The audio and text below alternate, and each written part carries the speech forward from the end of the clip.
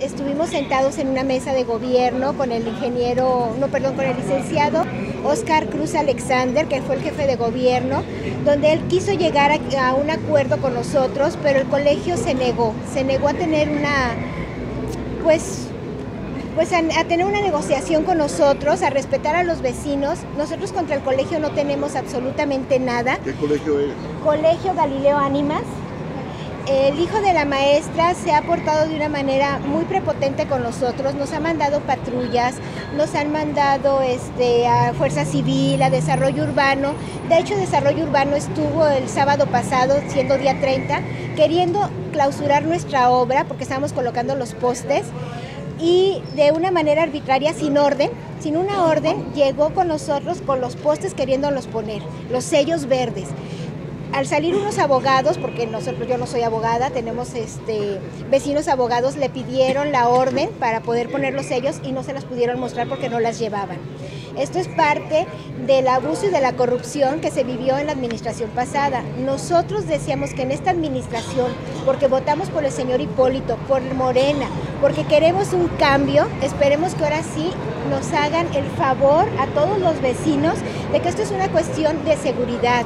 Esto ya se pasó del límite. Han robado a nuestros vecinos, todos los días ahí roban acá, este, los carros, roban muchísimas cosas y ellos no hacen nada. Da la casualidad que cuando el colegio les habla para decir que estamos colocando algo, inmediatamente acude C4, Fuerza Civil y cualquier instancia que el señor tenga acceso. Entonces nosotros ahorita lo que queremos es la seguridad de nuestro fraccionamiento. La seguridad obviamente la queremos para toda la gente. Nosotros queremos también no tener ningún problema porque los niños pues son niños y también queremos protegerlos. Pero el colegio ha actuado de con nosotros de manera indebida, insolente. A mí me ha puesto muy mal ante todo, todo el mundo, ha hecho comentarios, de hecho anoche en su página, ya lo, ya lo quitó ahorita, pero tengo el screenshot de donde dice él que yo, Laura Franco, y da mi dirección y nombre completo, y yo creo que eso no es válido, porque pues ya está atentando contra mi seguridad personal. Oiga, ¿sí? ¿y la nueva administración ya tiene conocimiento de eso? Venimos de hablar con Desarrollo Urbano, donde nos dicen que por ley no se puede poner nada en vía pública. Nosotros desde el 29 de mayo mandamos nuestro escrito donde nos los rechazan y nos dicen que la principal razón es porque el Colegio Galileo Ánima se opone. Ahora no somos la primer calle que se cierra en Jalapa. Hay muchísimas calles donde han puesto casetas, plumas, cadenas, atraviesan carros, o sea, muchísimas cosas. Y nosotros que lo hemos hecho con todos los vecinos de común acuerdo, bueno, siempre hay un puntito negro en el arroz que a lo mejor dice no, pero que al final de cuentas es un bien para todos. Y aquí la vecina, también la, la señora Rosa María Sánchez, les puede decir cómo hemos estado actuando y ella ha estado estudiando de qué manera podemos hacer las cosas. No, en la administración pasada se entregó, apenas ahorita vamos a entregar. Tendrán que volver a hacer, hacer el trámite.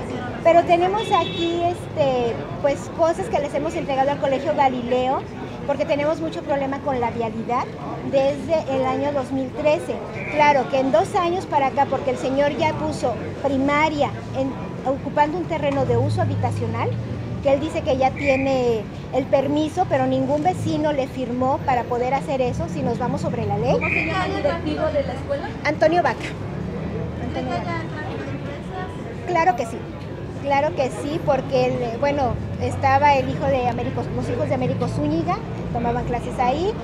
Eh, está ahorita este, el hijo también de otra persona influyente, no quisiera nombrarlo por respeto, pero sí nombra al licenciado Américo Zúñiga porque nosotros de una manera muy atenta le pedimos que hiciera caso de lo que estábamos viviendo, de la inseguridad, y ellos pues realmente no nos dieron una respuesta. Nos dieron largas, nos dieron largas, y hubo una persona de desarrollo urbano que nos dijo, véanlo con la próxima administración, lavándose las manos. ¿Nos muestra tantito su escrito? Ah, sí, como no, permítame tantito. ¿Nos puede dar su nombre, por favor? Laura Franco.